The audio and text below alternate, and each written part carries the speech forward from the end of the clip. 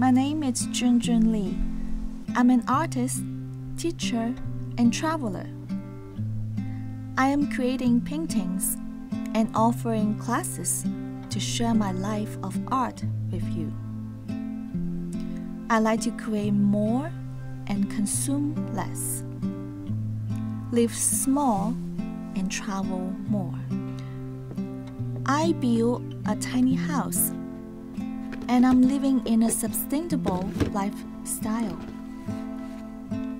Nature always guides me, grounds me, and inspires me to paint.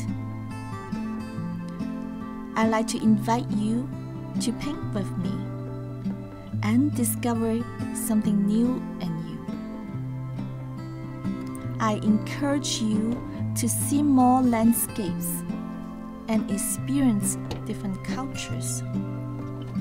We connect with nature and nourish all possibilities. 2020 has brought us many life changing experiences. You might be feeling anxious, disappointed, or sad. You might be uncertain about the world and your future. Your energy may be pulled in many different directions. Making art help us be present and express feelings beyond words. It provides enjoyment, recreation, and relaxation. I do art tours and offer weekly virtual art classes.